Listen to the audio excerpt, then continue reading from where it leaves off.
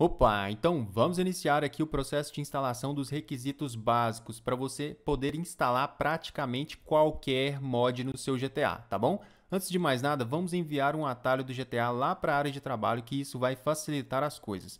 O local de instalação padrão do GTA pode variar se o seu jogo for da Epic Games, da Rockstar ou da Steam. O endereço está aí na tela do local padrão. Se você personalizou, chega lá de forma manual. No caso da Steam, eu vou vir aqui na biblioteca, gerenciar navegar pelos arquivos locais.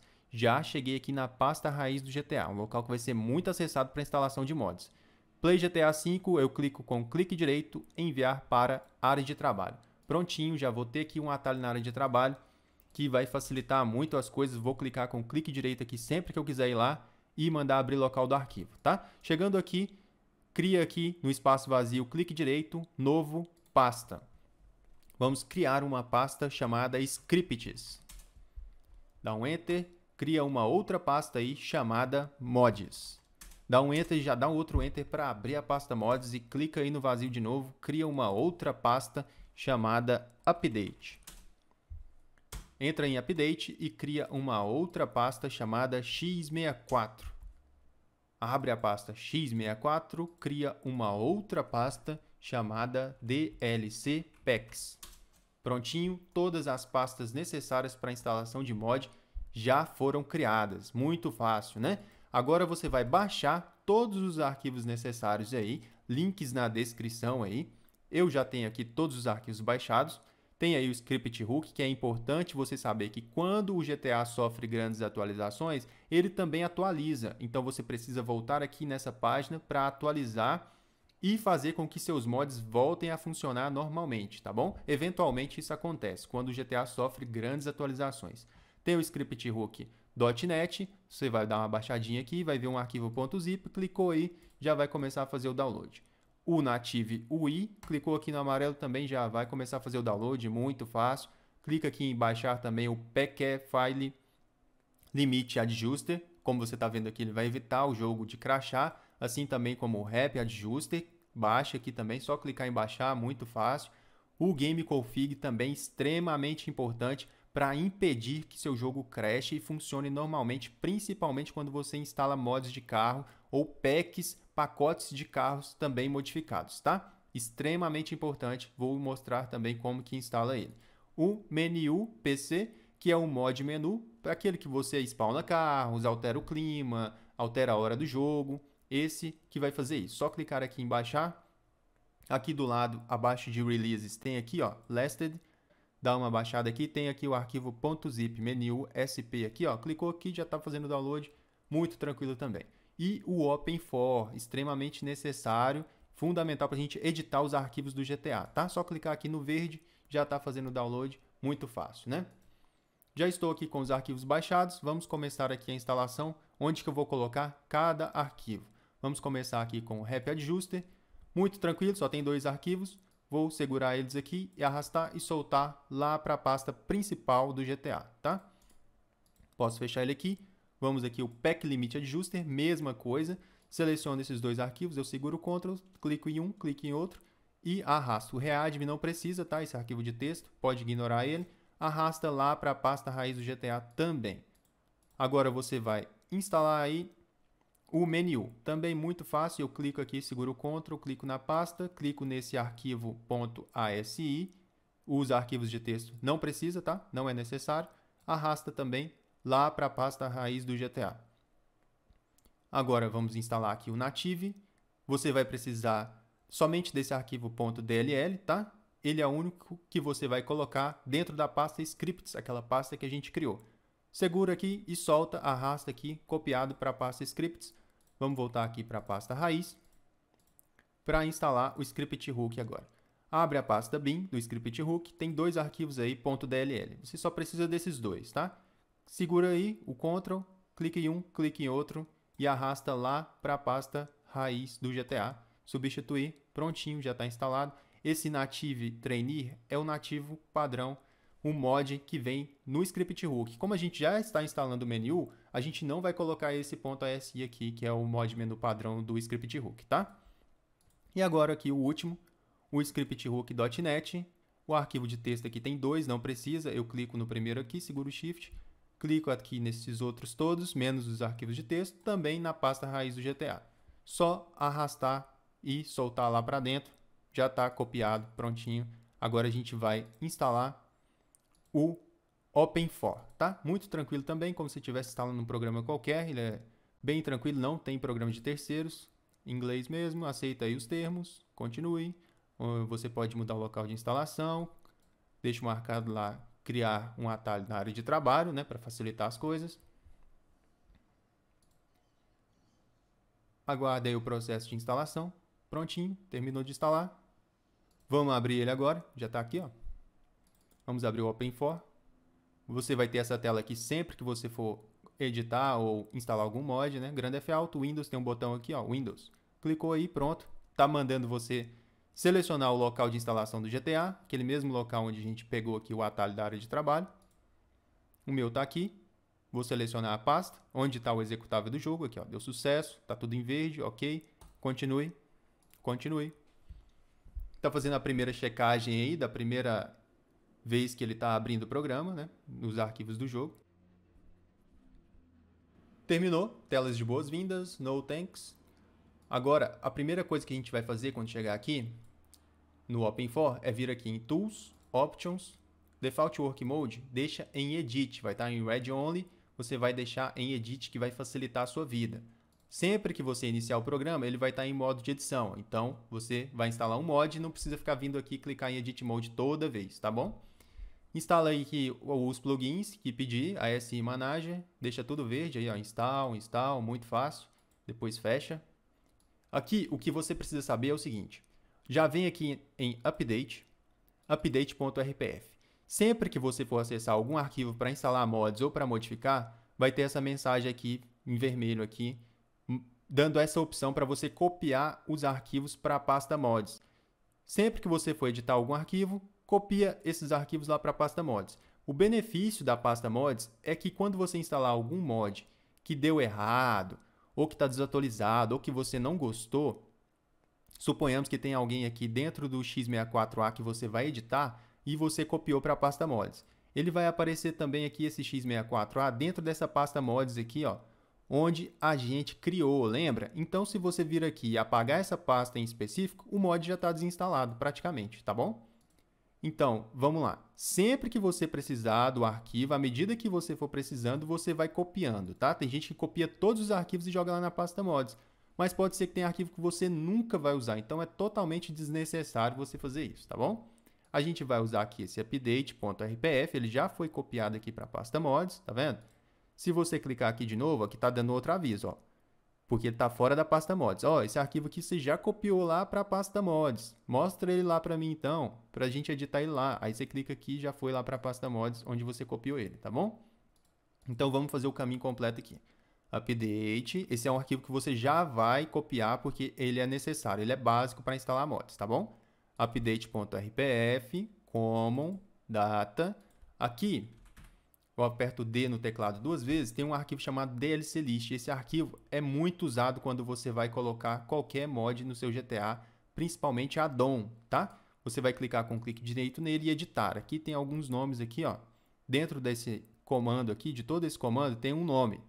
Esse nome é o mesmo nome do arquivo da pasta que você vai colocar onde a pasta que a gente criou aqui, o DLC Packs, tá? Geralmente a gente tem uma pasta que a gente arrasta aqui do mod para DLC Packs e é o mesmo nome aqui, eu vou mostrar mais à frente, vou dar um exemplo de como é que instala muito fácil, tá? O que você precisa fazer aqui também, que você precisa saber, é vir aqui em favoritos e adicionar essa parte, esse diretório, aos favoritos, já que a gente vai usar muito esse diretório para instalar mods e isso vai facilitar muitas coisas.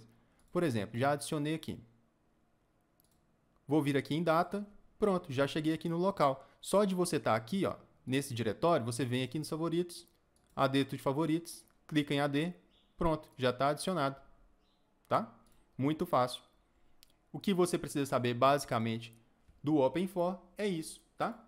O Copy Mods Folder, os locais de instalação, deixa aqui em Edit Mode, muito fácil. Vou dar exemplos a seguir que vai facilitar mais ainda o seu entendimento sobre o Open4 e instalação de mods no GTA. Vamos então agora instalar aí o Game Config, tá? Muito fácil de instalar ele. Vamos lá naquele diretório que a gente colocou nos favoritos ele está bem aqui, ó. Clica em qualquer lugar aqui com clique esquerdo, ele está aqui, ó, Game Config. Ou então vamos chegar lá manualmente no diretório, mods, update, update.rpf, common, data. Eu vou apertar G no teclado aqui, com alguém selecionado aqui dentro dessa parte do programa. Pronto, aqui, ó, game config. Vamos abrir o arquivo que a gente baixou, gta config, para menos mods, para mais mods. Eu vou colocar essa versão aqui para mais mods. Tem várias versões aí do game config. Se você quiser, você pode testar cada uma delas para ver se você gosta e fica o desempenho aí de acordo com a sua máquina, tá? Eu prefiro instalar a versão Stock Traffic. Tem aqui dentro o Game Config, é simplesmente aqui eu vou arrastar o Game Config aqui, ó, o arquivo e soltar aqui dentro. Prontinho, já está instalado. Muito simples, muito fácil. Agora eu vou dar um exemplo aí de instalação por addon de um carro que eu achei aqui na internet, gostei desse. Vou instalar aqui esse Passat 2016, vou clicar aqui em baixar, baixar aqui novamente. Enquanto baixa, eu vou abrir aqui o Open4, Grande F Alto, Windows, está abrindo aí o programa. Vou aproveitar e abrir também aqui a pasta raiz do GTA. Abre local do arquivo, prontinho. Aqui já baixou. Vou abrir aqui o arquivo do carro, do mod. Observe aqui que tem o add-on, que vai adicionar um carro além dos que já tem no jogo por padrão, e tem a versão Replace, que é a versão para substituir. Aqui ele é substituído pelo carro padrão do jogo chamado Oracle, tá? Mas a gente não quer. O exemplo aqui, nesse caso, é para instalar um carro adicional, add-on. Essa pasta aqui, que tem um arquivo dlc.rpf dentro, é padrão. Sempre que um carro for add-on que você adicionar, ou um outro mod, vai ter esse padrão, tá? Com essa pasta dlc.rpf dentro e o nome do arquivo aqui escrito na pasta. Geralmente, o nome do arquivo da pasta é o mesmo do spawn do carro, que você vai spawnar lá utilizando, vai teclar, vai digitar o nome lá, da VW Stance, num programa de sua preferência do mod menu, eu uso o menu, tá? E você vai spawnar o carro lá dentro do jogo. Geralmente, é o mesmo nome. Então vamos lá instalar, muito fácil. Lembra da pasta mods que a gente criou? Update, x64, DLC Packs? É agora que a gente vai utilizar ela. A gente vai simplesmente aqui ó, arrastar essa pasta que tem o dlc.rpf dentro para dentro de DLC Packs. Pronto, aqui essa parte já está feita. Agora a gente vai instalar dentro do programa lá do Open4 a gente vai lá naquele local onde a gente adicionou os favoritos. Lembra que eu falei que é muito usado? Eu vou chegar lá manualmente, mas se você quiser, já vai direto aí nos favoritos. O local é mods, update, update.rpf, common, data. Aí você clica em qualquer lugar, eu faço assim, tá? Faz aí da forma que você achar melhor e clica o D de dado aí no teclado duas vezes. Aí já me apareceu aqui o DLC list, é o arquivo onde a gente vai editar esse mod que a gente colocou lá em DLC Packs.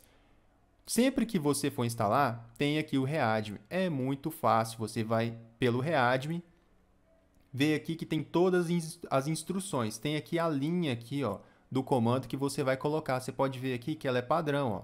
É tudo igual, só vai mudar o nome da pasta. Você pode vir aqui e dar um Ctrl C aqui, ó, copia essa linha e coloca aqui, ó, dá um Enter na última linha aqui. Deixa eu mostrar lá em cima todas aqui, ó, tá vendo? Tudo padronizado. Aqui é o nome das pastas que vai ficar em DLC Packs. Ah, logo após aqui, você coloca aqui um Enter, deixa bem certinho, bem perfeito, não mexe em nenhum outro caractere, dá um Ctrl V, pronto. As barras eu prefiro deixar todas assim, ó. Mas isso não interfere, tá? Não tem problema, é só um toque que eu tenho aí, deixo todas padronizadas assim, mas não interfere. Pode seguir o exemplo aí padrão de quem fez o mod que vai dar certo também. Aqui observa que o nome é o mesmo nome lá da pasta. É só isso, gente, mais nada. Você vai clicar aqui em Save, pronto, já instalou. Muito fácil, agora é só ir lá dentro do jogo e spawnar o veículo. Eu vou mostrar como que você faz isso lá dentro do jogo utilizando o mod menu. Já estou aqui dentro do jogo, vou dar um exemplo aqui e vou spawnar o Passat que a gente acabou de instalar. O menu, mod menu que a gente tem instalado aí, que eu instalei, que eu prefiro, é o F8. Eu abro ele, ali abriu ele acima à esquerda ali, ó. Vou vir aqui em Vehicles Options, Vehicle Spawner. Eu venho aqui em Favoritos e adiciono um novo modelo. Lembra do, do nome da pasta que eu falei que geralmente é o nome do spawn do carro? VW Stance. Dá um Enter Pronto, já localizou aí, ó, Passat. Aí ele veio aqui já, vai ter uma lista aqui de favoritos. Sempre que você quiser spawnar o, o carro de novo, vem aqui em favoritos aqui nesse caminho, favoritos, e dá um enter e vai spawnar o carro. Prontinho, muito fácil, né? Aqui também tem um local onde você dá um backspace, você volta. Se você quiser, tem uma oficina aqui, ó, do próprio menu. Tem um auto upgrade aqui, ó, já deixa o carro todo no máximo. Por exemplo, as rodas, eu gosto dos pneus originais aqui desse carro, que são bem bonitos. Vou dar um backspace de novo. Vou, por exemplo, aqui, ó. Vou mudar a cor aqui para você ver uma coisa. Vou botar uma cor qualquer aqui. Vou botar um preto aqui. Agora você vai vir aqui, ó. De backspace, backspace. Você vai voltando. Backspace de novo. Você vem aqui de novo em Vehicle Spawner. Tem uma opção aqui para você salvar essa tunagem que você fez aqui, ó. Clica aqui em Save Vehicle. Save corrente veículo, coloca o nome aqui, ó, sei lá, Passat preto tunado. Prontinho. Aí ele tá aqui nessa lista. Vai ter uma lista aqui com esse carro tunado. Se você clicar aqui, ó, spawnar, pronto. Ele vai estar tá aqui salvo. Bem mais fácil, não é? Agora vai um exemplo aí de como que a gente vai fazer uma substituição e um addon utilizando um outro mod aí um pouquinho mais complexo, mas você vai ver que ainda assim é muito fácil de instalar. Por addon e por substituição, tá? A gente vai substituir um personagem do jogo e também vai adicionar aí o Deadpool como personagem para a gente jogar lá dentro do jogo do GTA, beleza? Vamos lá então, já estou aqui com o Addon Pads baixado. Vamos abrir aqui o local do GTA, pasta raiz, abrir local do arquivo, vamos lá em mods, update, x64, DLC packs. Repare aqui ó, que o modder foi tão bonzinho e organizado que já deixou aqui cada lugar onde vai cada respectiva pasta de um arquivo ou pasta para instalar o mod de, dele, tá? o Addon Pads. Dentro de DLC Packs, a gente vai colocar o Addon Pads. Vê aqui que tem um DLC.rpf dentro. Vamos arrastar aqui o Addon Pads para dentro de DLC Packs. Prontinho. Vamos aqui com o Open for aberto. Lembra daquele lugar do favoritos que a gente colocou, o DLC List, que a gente vai editar muito. Simplesmente quando a gente botar alguma pasta aqui em DLC Packs, a gente vai adicionar também uma linha lá no DLC List. Vem aqui no DLC List, clique direito, Edit. Eu também faço assim, ó. Eu venho nessa última linha aqui, dou um Ctrl C aqui, ó, eu copio essa linha, e duplico ela aqui embaixo. Dou um Enter e dou um Ctrl V aqui, ó. Vê que ela ficou duplicada, né? Agora a gente só altera o nome da pasta da linha. Eu venho aqui, como se fosse renomear a pasta, para eu nem esquentar a cabeça se o nome está certo ou errado. Eu só dou um Ctrl C no nome da pasta e dou um duplo clique aqui no nome e dou um Ctrl V, tá? Para mudar o nome da linha aqui, ó. Vai ficar DOM Pads e o resto tudo padronizado, bonitinho e dá um save, tá? Essas instruções você encontra também no Readme aqui, ó. Tá tudo aqui explicadinho. Tá falando aqui, ele aqui ele já colocou a linha inteira aqui, ó, para você copiar e colocar lá na última linha, tá? Muito fácil de instalar, todo mundo, quase todos praticamente, vem com as instruções de instalação. É só você dar uma olhadinha lá para tirar qualquer dúvida, tá bom? Agora, scripts, vamos voltar lá na pasta raiz do GTA tem um arquivo aqui que a gente vai colocar em scripts, esse pet selector, vamos abrir a pasta scripts que a gente criou, arrasta para cá, botou o pad selector lá, prontinho. Agora esses dois arquivos que está de fora vai na pasta raiz do GTA. Arrastou, prontinho, colocou aqui na pasta raiz do GTA. Agora vamos adicionar um personagem aqui no programa, tá? No Open4. A gente vai usar o Open4 para adicionar aí o Deadpool. Vamos abrir aqui o Deadpool. Vou extrair aqui para qualquer lugar. Deadpool. Vou fechar aqui. Vamos lá para adicionar um personagem, como é forma de addon, a gente vai lá na pasta do mod que a gente instalou lá em DLC Packs, que fica aqui dentro de mods, x64, DLC Packs, a gente vai entrar dentro da pasta DOMPads, dlc.rpf, pads, aqui é o local onde a gente vai colocar um personagem por adição, tá? Vou deletar aqui porque eu não quero esses que vêm por padrão no mod. Vou deletar e vou colocar aqui os arquivos do Deadpool aqui com esse padrão YTD, YFT, blá blá blá, beleza? Aqui já está instalado o Deadpool, só falta acessar aqui o Addon Pads Editor, clique direito, executa ele como administrador e coloca o nome do pad aqui para você spawnar lá dentro do jogo apertando L, tá bom? Então vamos lá, vamos colocar aqui o nome Deadpool. New, vem aqui, clique em pad, new pad, o nome do modelo, Deadpool, pad, se ele é fêmea ou se ele é macho, é male, né? Ele é homem. vem aqui em false. Esse padrão de arquivo aqui, com esses aqui, ó, esses quatro, geralmente três, y, dd, blá, blá, blá, você deixa sempre em false aqui, tá? Nessa opção extremed aqui, ó, tá? E a pad. Prontinho, o Deadpool já está adicionado. Quando você apertar L lá dentro do jogo, já vai ter um menu lá e uma opção para você dar um Enter no Deadpool e spawnar ele como mágica, tá bom? Agora vamos colocar aqui um personagem por substituição, para você ver como que substitui um personagem do jogo, tá? Por exemplo, vamos voltar lá no Open4.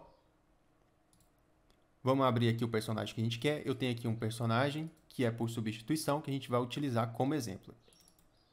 Tem aqui as instruções do local onde eu vou substituir esse personagem que chama isso aqui, ó. Por padrão do jogo, o nome dele é esse. S underline F Y Hooker 03, beleza? Vamos aqui no endereço que ele está falando, onde fica localizado esse personagem do jogo. Vamos lá no Open4. Eu ainda não tenho essa pasta copiada para a pasta mods, então eu não vou entrar em mods, porque ele não está lá. Ela está em update, x64, DLC packs, e esse aqui, ó, mppatch, beleza? Abre essa pasta, abre dlc.rpf, conforme está indicando. Agora sim mostrou aqui uma opção copiar para a pasta mods. Vamos copiar para lá e já direcionou para lá. Então vamos continuar aqui o caminho. x64, models, cd imagens, mp patches. A gente vai filtrar aqui, a gente vai achar ele, ó. Hooker Hooker aqui, ó, Hooker 03, já apareceu aqui, ó. Então a gente vai fazer o seguinte, vai selecionar aqui os arquivos e vai simplesmente arrastar para cá, ó. vai substituir. Prontinho, já está instalado. Agora só falta você colocar aqui esse nome lá dentro daquele programa que a gente abre como administrador. Aqui, ó, o SF Hooker 03, vou aproveitar aqui e já dar um Ctrl C no nome. A gente vai adicionar aqui onde a gente colocou o Deadpool também. Pads, new pad, o nome. Pad type, tipo de pad, female, que essa é mulher is extremad, false, porque esse padrão de arquivo aqui é false. ADPad, prontinho, e dá um rebuild aqui, tá? Não esquece de apertar aqui em rebuild. Já está instalado aí os dois personagens. Vamos lá dentro do jogo agora, abrir eles e testar para você ver como é que é. Cheguei aqui dentro do jogo, vou apertar aí o L no teclado, já deu aquele menu para spawnar os personagens que a gente instalou. Vou dar um Enter, prontinho, o Deadpool está aí instalado e o Hooker aí, ó, o personagem que tem esse nome no jogo, que é essa aí, essa personagem que a gente instalou prontinho também, já foi substituída aí dentro do jogo, tá? Tem um lugar aqui também que você usa aqui no mod menu que você pode personalizar o personagem quando ele tem essa opção, tá? Vamos vir aqui em player para você dar uma olhada aqui. Model, change, randomize, pede variação aqui, ó. Ela vem com essas variações aqui, ó. Também você pode especificar cada roupa, cada no armário aqui, no Adobe. Isso quando o personagem vem com essa opção, tá? Prontinho aí, instalado, belezinha.